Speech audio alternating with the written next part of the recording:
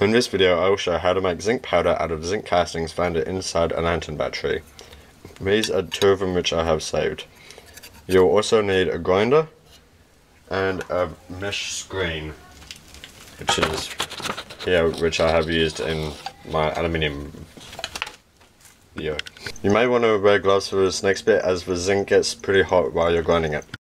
Position the can so is catching most of the dust. It doesn't matter if some doesn't actually land in, majority of it will be going in. So now let's just turn on the grinder um, and then just start grinding away.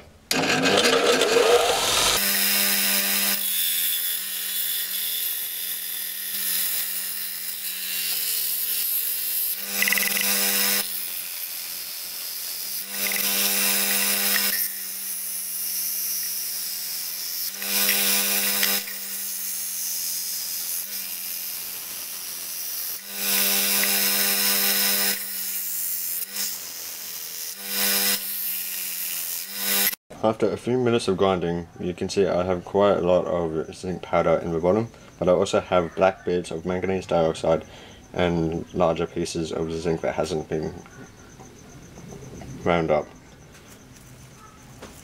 For this we'll be using my mesh screen which I have used in my aluminium video. So just pour it right in the middle of it and then just stop moving it around and it will kind of go through the mesh screen.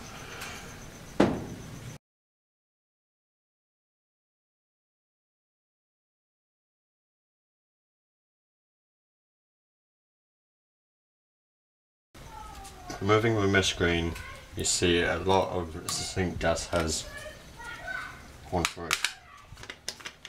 Now all you have to do is tip it up and place it into a container.